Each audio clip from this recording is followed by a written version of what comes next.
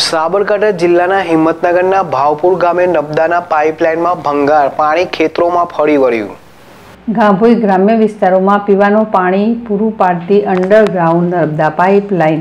ગુરુવારની સવારે ભાવપુર ગામના સ્ટેશન પાસે ગાંભોઈ રણાસણ રોડની બાજુમાં આવેલ એક ખેતરમાંથી પસાર થતી લાઇન તાજેતરમાં પડેલ ભારે વરસાદી પાણીથી જમીન ધોવાઈ જતા પાઇપલાઇન જમીનના ઉપરના ભાગે બહાર ખેંચાઈ આવતા પાઇપલાઇનમાં સાંધો કરેલા વાટામાં ભંગાળ પડતા લાખો લીટર પાણી ફુવારાની જેમ બહાર આવી આસપાસના ખેતરોમાં ફરી વળ્યું હતું. આ પાણીનો ફુવારો પચીસથી ત્રીસ ફૂટ ઊંચાઈએ પાઇપલાઇન ઉપર પસાર થતી વીજ લાઇનના ખુલ્લા વાયરો સુધી પહોંચતા ખેડૂતોમાં ભયની લાગણી ઊભી થવા પામી હતી.